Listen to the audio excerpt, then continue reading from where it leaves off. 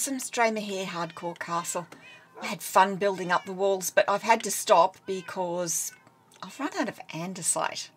I really need to get down into the quarry and do a bit of digging. And I've got to take a shovel down with me too because, let's run over. It's been snowing and I want to get that snow so that I've got blocks to maybe add some more to the village. But we have got at least up to this height, so I can today start the hall. This is what I want to do. And I have a forest starting because I ran out of dark oak and I really want dark oak for the roof of this. So I have altered the layout a little bit from when I did it a couple of episodes ago. I've made the hall slightly narrower and I've put in the dividers. So this is a little screen passage, which is where the servants can enter from the buttery and the kitchen. We'll be dealing with that in another episode. Then we've got the main part of the hall, which I've got bottom half slab, so I don't have to worry about lighting it. We've got the dais up here for the Lord and his family, honoured guests, whatever. And a little room here for the honoured guests to use if they need it. That makes it sound like a toilet. It's not a toilet. It's like a little dressing room or gathering room or something like that. So that is our hall. Now I'm just taking some blocks out and we'll be putting other blocks back in. We'll have a door here. I might, oh, oh I might be an idiot. I might texture as I go. There we are. Okay, that's that's not too bad. And having done that, I think I'll just build the rest up in stone brick and then come back and texture. Because otherwise I'll just be going silent all the time. Okay, so let's get started with this. A great hall. That's what we're used to calling them, but that's not necessarily what they would have been called. As with the Great Tower, Great doesn't mean splendid or special. It just means tall or big. And this castle will only have one hall. So this wouldn't actually be called a great hall, even if it was considered very large or very splendid. It would just be the hall. You only call a hall the great hall if you have more than one and you want to indicate which one is the larger of the two. So the hall was the centre of castle life, really. As with our wooden castle, this is where all the servants would sleep. Everyone who works at the castle would sleep in here. If there weren't separate quarters for the Lord and his family, they'd be sleeping in here too, although probably in this back room rather than in with everyone else. The business of the day would be done here yes, there'd be feasts in here, but you'd also have receptions for important people. You'd have people bringing the business of the day to the Lord. I want this dispute settled, or this has happened to me and I want justice for it. They'd come to the Lord in the hall. And I'd better put some light in here and in the back room. And up here as well can't have the hoi polloi in the special rooms. There we go. Right, so let's talk about dimensions a little bit. The hall has to be one and a half to three times as long as it is wide. This is 9 wide and 24 long, so we're okay with that. And it has to be taller than it is wide.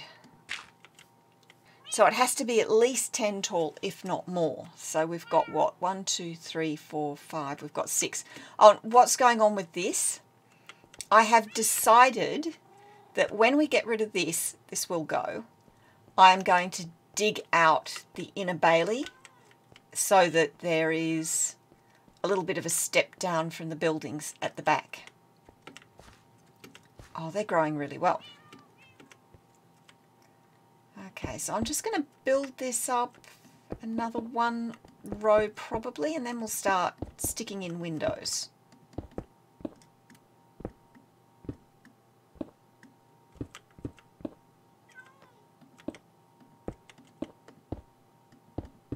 All right, let's have a look. Oh yeah, that's, that's not bad. You only get windows on one side because we've got the other wall butted up against the main castle wall, obviously. And they're not going right the way down. So you've got later styles of Great Hall that do, but I mean, let's face it, we're probably sometime around the 1200s, probably, just with the way things are going. I was merrily building and chatting away to you all, and then realised that I had, at some point, accidentally pressed stop recording. Oh, I've got a lot more fields to make, but that's starting to look really good. Ugh, distracted, distracted. so I have built up quite a bit. Let's have a look. We've got six large windows. Yes, they're up high. That's okay. They're supposed to be. Let as much light in as possible. And they're going to have glass in them. Keep the glass away from the ordinary folk as much as possible.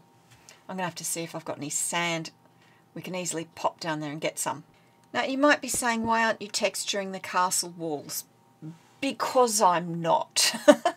The castle walls I want to look as neat and pristine and well kept as possible because that's what's protecting us. I may later go through and texture, it depends how I feel. But for the moment, no, I'm, I'm quite happy to not. Okay, there we are. That's the walls done. I think we might pop down and have a look. Oh, we can do that now without risking life and limb.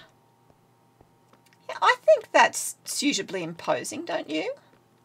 Right, so let's get this end done. We're just going to put a normal Minecraft gable end on. You know, just bring it up to a point, reduce it by one each time. You know the deal. I think that's all right. I think. Yeah, not bad. The next thing I want to do is chop down all those trees and grab some glass. I'll see you in a little while. Well, I ran down to the beach that's over there. I got some sand and I've put some glass in.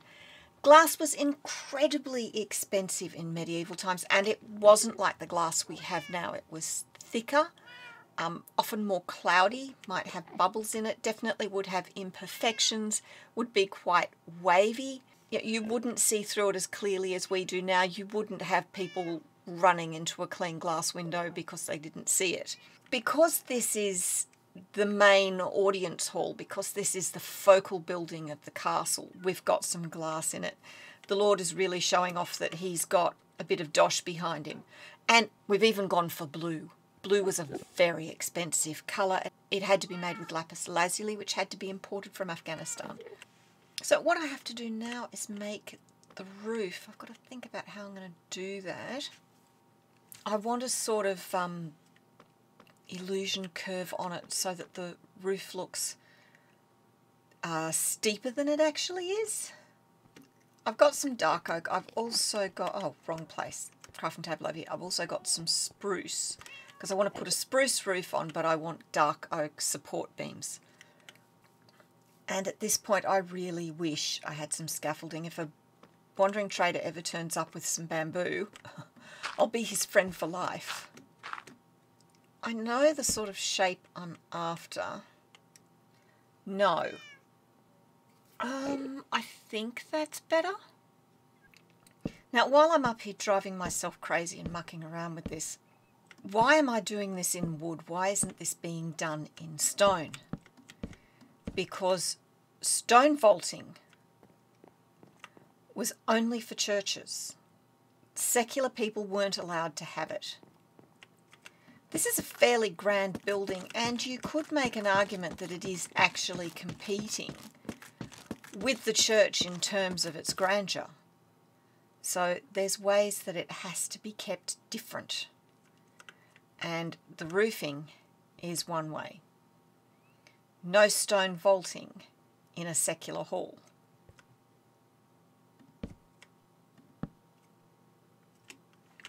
Ah! Oh, thank goodness I have feather falling four on my boots. Oh. Right, I'm going to I'm going to work on this roof. I'm going to concentrate. and then we'll come back and have a look. It's too thick. I hate it. I hate it. I hate it. I'm going to work on this. I'll get back to you. Okay, I got a bit of a push on. I know it's really hard to see it with this thing in the way. We will get rid of that. But we've got a roof on.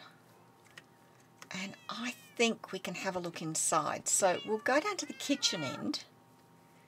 And I'm thinking I might put a stained glass window here. I'm thinking about it. We'll see. But for the moment, let's put some doors in. As I said, these go to the kitchen and the buttery. And then this is the screen passage. And we have stairs up here to a minstrel gallery, which is a great place from which to view the hall. I know it's dark up there. I don't care. It's fine. But look, we've got our roof in. I'm actually really happy with that roof structure. I quite like it. And it does give the illusion of the hall being taller and thinner than it actually is, which is what it's for. Now I'm going to put in some doors. There we are. Now you've got big splendid doors for the hall and often there was a little door inside the door, so sort of like a, a wicket gate. Oh, isn't that annoying? I need one more, which means I'll make it there instead. There we go. So I'll grab one more. There we go. That's finished. And I probably should, oh, do you know, instead of making those, I should have just taken those two out and put a door in its place. That is so annoying, but I think I will do that. There we are. We've got the big doors to the hall and a little wicket door. Now, in terms of furnishings, you're almost looking at it. With our modern conceptions of a great hall, we often think of a room that is wood panelled. I was very reticent to put those trapdoors up there because wood paneling is not a thing, not really until you start to get around the 1500s, late 1400s maybe. So that's not wood paneling, that's carved decoration. That's all that is, it's not wood paneling. You just had the stone and you might have tapestries and banners hung along this big expanse of wall and along the back there. Along the front, this is the back, sorry, the Lord sits at the front, but not an overabundance of furniture. Now, I'm going to work out more or less where the middle is. That one, that one, and that one. Because I am putting in a large hearth. Give it about a hundred years and instead there would be a large fireplace here, probably big enough to stand in but for the moment, central hearth. Now, in terms of seating, the Lord gets a chair with a high back. Hello, Lord. And maybe his lady and maybe his eldest son get a chair each but not so splendid. Or the son might even just get a stool. That's more likely. You can tell looking at the chairs who's got precedence.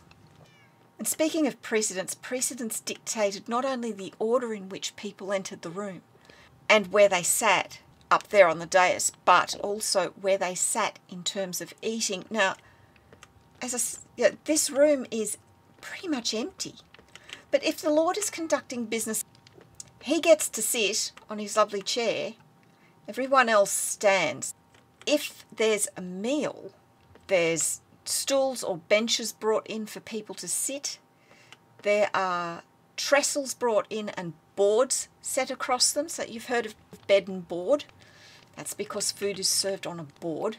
So there would be a board up here for the Lord. If the Lord is very rich, he might have an actual table that stays here all the time.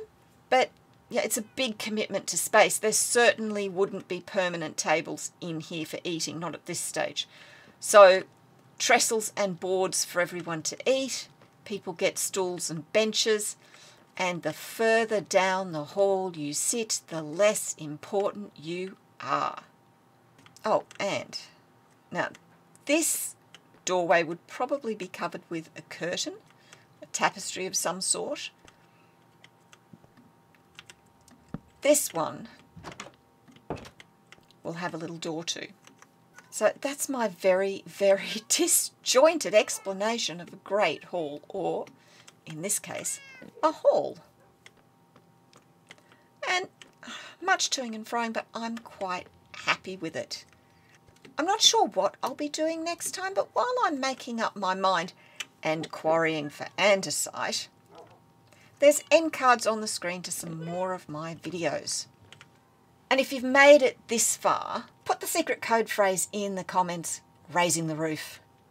See you next time. Bye.